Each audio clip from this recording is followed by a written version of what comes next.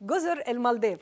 غالبا إحنا بنسمع أخبارها على إن الناس راح تستجم أغلى فنادق في العالم وطبعا شفنا التضامن اللي حصل مع أهالينا في غزة وإن هم قالوا إن إحنا مش هنستقبل أي سايح إسرائيلي. كل دي حاجات حلوة لكن يطلع لنا خبر يقول سلطات جزر المالديف تلقي القبض على وزيرة البيئة السيدة فاطمة شمناز. إيه بقى؟ علشان إيه؟ عفوها من منصبها وقبضوا عليها عشان شبهات تتعلق بممارستها السحر الأسود للتقرب من رئيس البلاد. الموضوع باختصار العجيب يعني إن قبضوا عليها هي وأخوها وشخص بيقولوا عليه إن هو ساحر. قالوا إن هم قاموا بأعمال سحر أسود علشان يتم التقرب لرئيس البلاد منها طبعا السيدة وزيرة البيئة. كان إيه المبرر تبقى قريبة ليه وتاخد مناصب أكتر.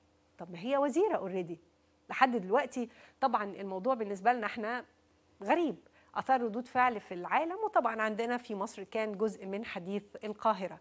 في سحر أسود في جزر المالديف واللي بيعملوا ناس على درجة من المسؤولية زي وزيرة في الحكومة؟ يعني